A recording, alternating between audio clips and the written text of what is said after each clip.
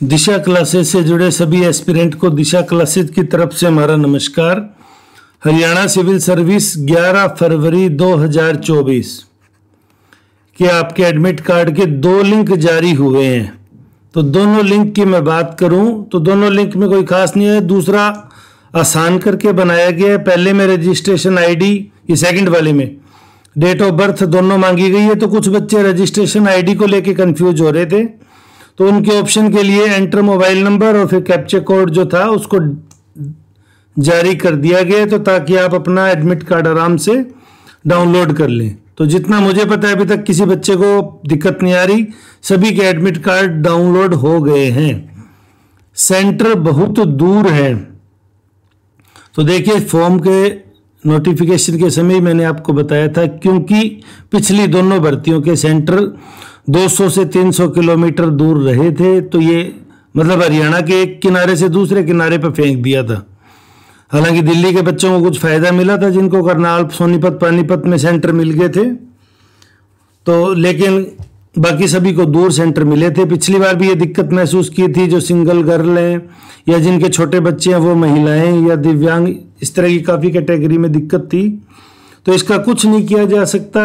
आपने हमारा जो टेलीग्राम चैनल है, उस पर भी आपने देखा, बच्चे कमेंट कर रहे हैं कि माननीय उप मुख्यमंत्री जी से निवेदन करें, करनाल सांसद जी से निवेदन करें।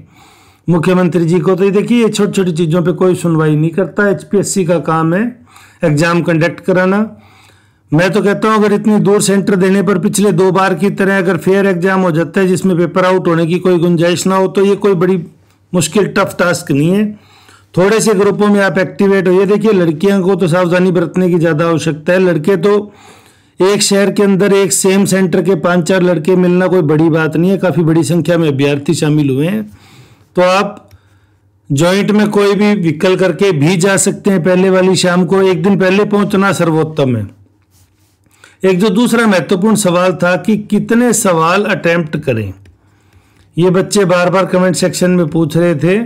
तो कितने सवाल का, देखिए, मेरी तरफ़ से 75 प्लस आपका एटलीस्ट अटेम्प्ट होना चाहिए। क्योंकि एक से तीन सवाल ऐसे होते हैं जो परीक्षा हॉल के स्ट्रेस की वजह से गलत हो जाते हैं।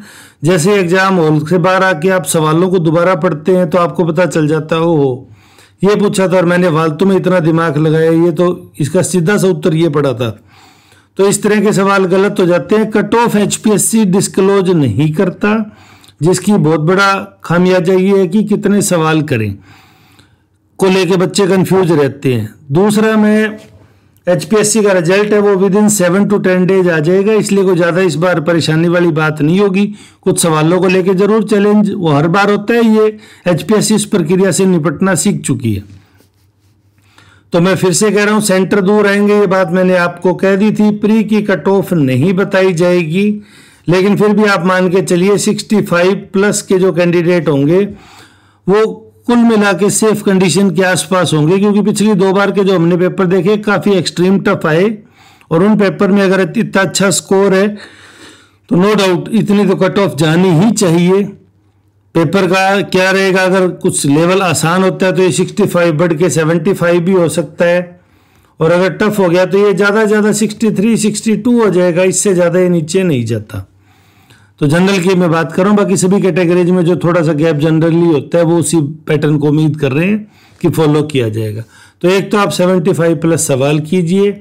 सेंटर दूर आगे जिसको बदलने की गुंजाइश लगभग नगण्य है। आप बुरा ना मानिए, लेकिन आपको व्यवस्था करनी होगी अपने पिता को, भाई को, जो महिलाएँ हैं। पति को, जिनके पास छोटे बच्चे हैं, या परिवार में से किसी रिश्तेदार को जिसके साथ वो कंफर्टेबल रह सकें एग्ज़ाम में। उनको लेके जाना पड़ेगा। आपको ये हर बार होता है तो ये कोई नई अनोखी बात नहीं है। तो इन चीज़ों में अपनी ऊर्जा वेस्ट ना करें, क्विक रिविजन करें, तेज़ी से पढ़ें। सात दिन का समय, आज से ठीक बात करूँ मैं अगले सातवें दिन बाद, इस वीक आज संडे और नेक्स्ट संडे को जब हम बात कर रहे होंगे तो लगभग लगभग कट ऑफ़ के लिए बातचीत शुरू हो चुकी होगी और सी सेट का पेपर चल रहा होगा। तो बहुत सारी चीज़ें होगी जो हम आगे करते रहेंगे। आपके कोई डाउट है तो आप कमेंट सेक्शन में पूछ सकते हैं। वीडियो में अंत तक जुड़े रहने के लिए धन्यवाद। आपका दिन शुभ हो।